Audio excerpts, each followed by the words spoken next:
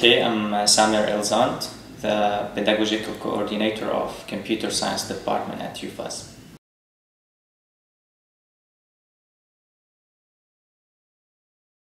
UFAZ CS program uh, is inspired by uh, the program of uh, Strasbourg University, but with some modification and addition uh, needed for the Azerbaijani education system.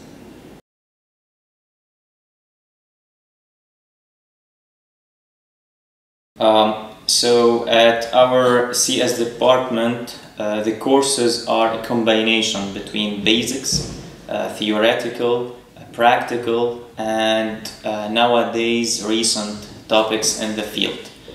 Uh, students will be able to go through those four years of study in the bachelor degree uh, to learn how bits and electricity flow in the computer until he will be able to, to write his own software, uh, games, website, network, uh, and all of those nowadays uh, uh, topics to learn about machine learning, artificial intelligence, and all of those topics, uh, our student will be able to do them at the end of the uh, bachelor degree.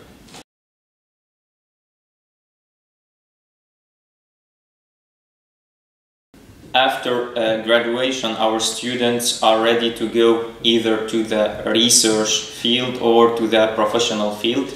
Uh, um, I will give some statistics about this year. Our L3 students are half, around half going to the research uh, and reputable university, highly ranked worldwide, even in Azerbaijan or uh, outside Azerbaijan, in France and UK.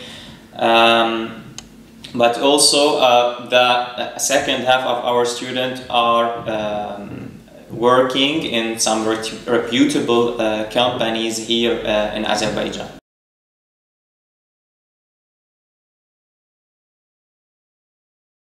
At UFAZ, we, we care about students, uh, not about grades.